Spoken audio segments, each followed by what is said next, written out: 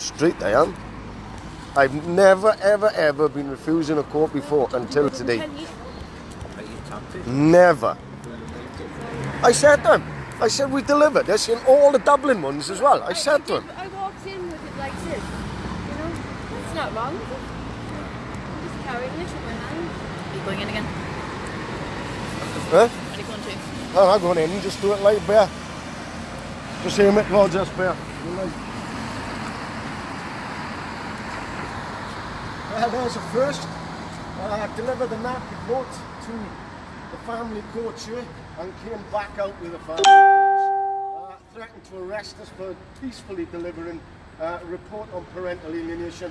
It makes you wonder how kids struggle through all of this when the ignorance of the family courts um, doesn't take a blind bit of notice of it. This is the first time ever I've been refused and been threatened to get arrested for going into a family court peacefully with a report for the likes of judges and so on to have some understanding of parental alienation uh, where children are used as weapons in family courts pretty much clearly, obviously by the family courts as well. Um, uh, speaking here as well, as I did say to the uh, Gardaí here, uh, am I alright to put that on uh, Facebook that you were threatened to arrest me? And he said, yes, carry on.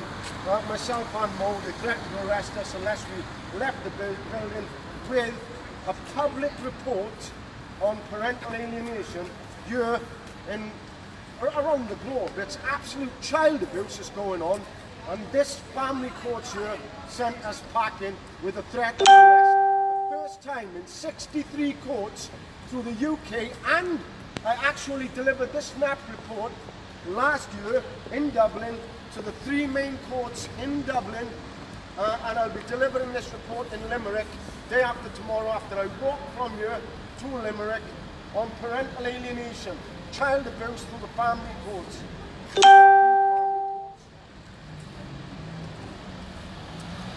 Unbelievable.